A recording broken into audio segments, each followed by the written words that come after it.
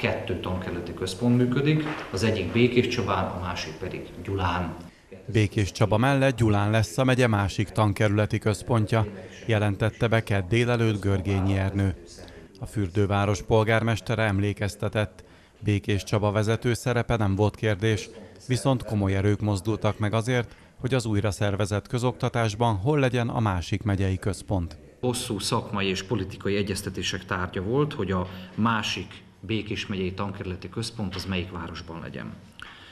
Természetesen volt, aki mindent elkövetett annak érdekében, hogy a másik tankerületi központ Délbékésben legyen, Orosházán vagy Mezőkovácsházán.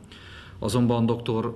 Kovács József országgyűlési képviselő és a gyulai városvezetés amellett érveltünk minden fórumon, hogy városunk hagyományai és a köznevelési rendszerben betöltött jelentős szerepe miatt a másik központ székhelye csak Gyula városa lehet. Görgényi Ernő hangsúlyozta, ez a kormánydöntés elismerés Gyula számára, ugyanakkor egy észszerű döntés is, hiszen a kiterjedt gyulai köznevelési intézményrendszer, a hagyományok és a gyulai köznevelési vezetők felkészültsége alapján ez szolgálja a legjobban a megye érdekeit. Ez az újabb központi szervezet pedig tovább erősíti a város megtartó erejét. Óriási átszervezések vannak minden területen az országban. Mindenki számára jó döntést ilyen helyzetben nehéz hozni, de Gyula a helyi szereplők jó együttműködésének is köszönhetően eredményes volt. Egy ilyen döntésnek a pozitív elbírálása csak akkor várható el mindenki részéről, hogyha